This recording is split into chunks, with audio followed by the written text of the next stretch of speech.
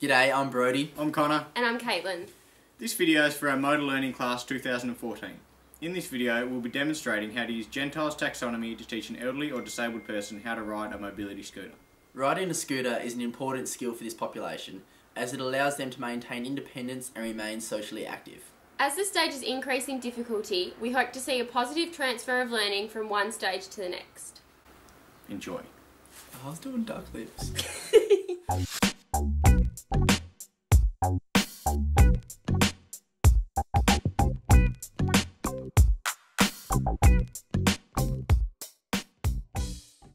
Hi Gladys, the aim of this stage is to pretend to manoeuvre the scooter to avoid an obstacle in your way. Alright, so Gladys, you've driven a car for many years. Yep.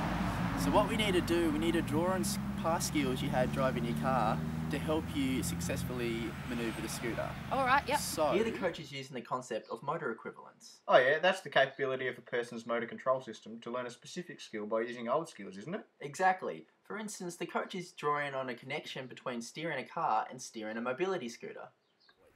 Yep.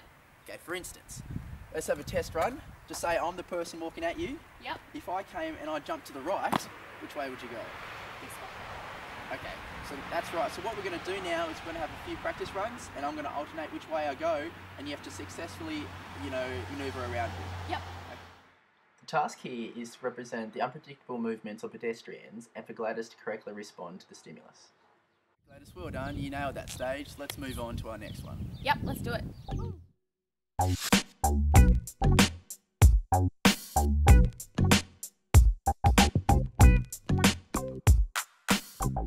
Alright Gladys, so this stage is going to be similar to the last stage, except we're going to reintroduce the braking and accelerating. Which is these two, right? Yep, that's it. And also we're going to actually be turning the scooter this time. Okay, So uh, we'll get on with it, eh? sounds good. So just before we start, as well as the turning, we're going to add another aspect to this. So if I go like this, then what I want you to do is put on the brake and then just yell out braking just so that I know you're doing it. So like break in. Yep, that's it. Perfect. All right, ready to go? Yep. While this stage is very similar to the previous stage, this one includes object manipulation and also it includes a braking aspect which makes it a little bit more difficult for the client.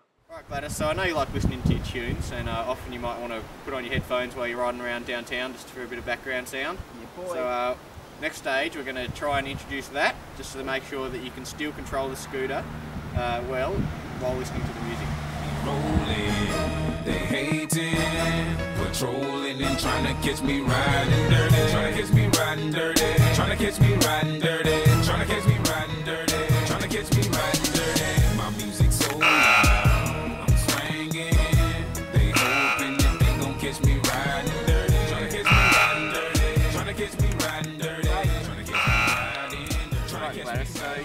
Riding you got a few dirty. turns wrong there, so I think maybe the music's distracting you a bit, and also I think you were bobbing your head a bit side to side, could have been affecting how you were turning. Yeah, I was getting way too into it. Yeah, yeah. In this instance, two motor learning concepts were addressed attentional capacity and head stability. By reminding Gladys to keep her head upright, we are encouraging her to optimise the use of vision in stimulus detection. Secondly, the attentional capacity is introduced by making Gladys wear headphones. This introduces a distraction that may affect the performance of the primary task. By using relevant cues, we should be able to redirect her attention to the primary task. That's how it is, and so are you ready to go? You mean? So, yep, okay, let's do it. Ready to go? Uh-huh.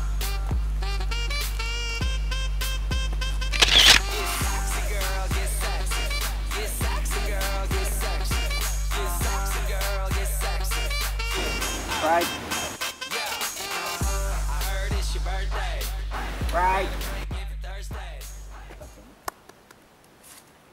Alright, job.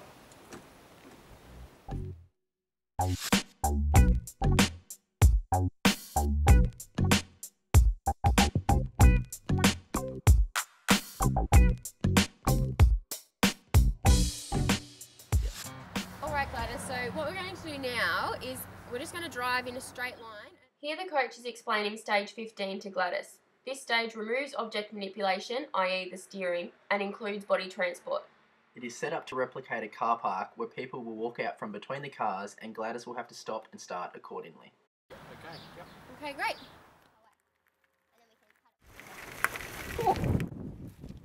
This task is an example of simple reaction time, as Gladys is required to respond to the stimulus in the same way each time.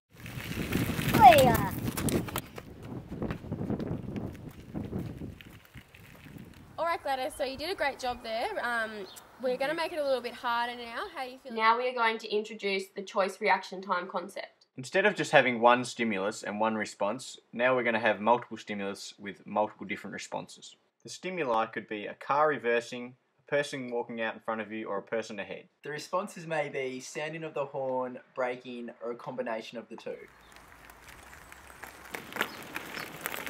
Ah.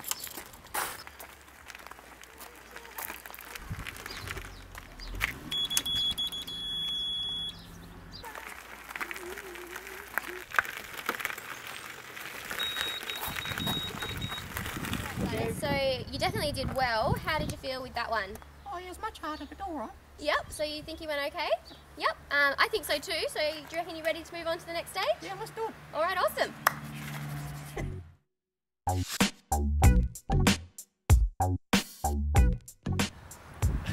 Alright Gladys, this is our last stage. In this stage, we're going to try and mould everything we've done in the last 15 stages Yep. into one, so you're confident in everyday situations riding around on your mobility scooter. Cool. So what we've got set up today, as you can see, we've got a set of obstacles, and we're going to try and replicate a supermarket scenario. Here the coach is taking Gladys through a trial of this stage to ensure she understands what is expected of her. As you can see, these chairs are set up to replicate aisles in a supermarket.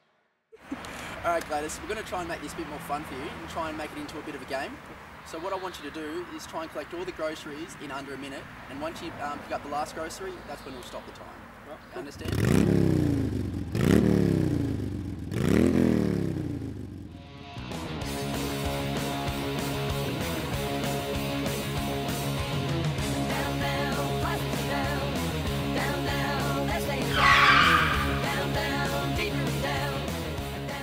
Gladys, so you went a little bit too quick, I think, because well, you crashed into quite a few things and you hit the person that was walking. So, what I think I need you to do is maybe slow it down because you're well under a minute. Here, the coach is describing Fitts' law, specifically the speed accuracy trade off. He's explaining to Gladys that going too quickly to begin with may reduce the accuracy of the skill execution. By slowing down, hopefully she will be more successful, but still complete the trial in under a minute.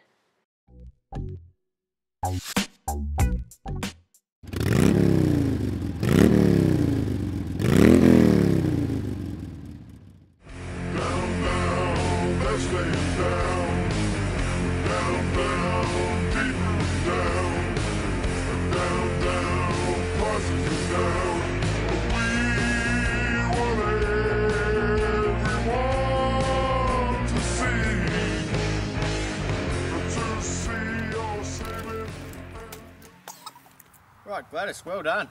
So you're still well under a minute there, but obviously slowing down helped you get to the shelves a little bit better, grab the groceries without running into any chairs. And uh, I think overall, I think you're ready to hit the streets. Yes.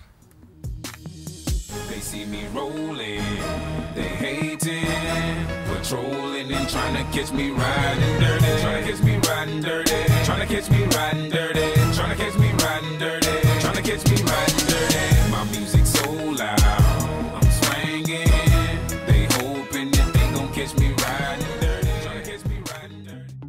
oh. New Urvasi, Urvasi. Uh oh.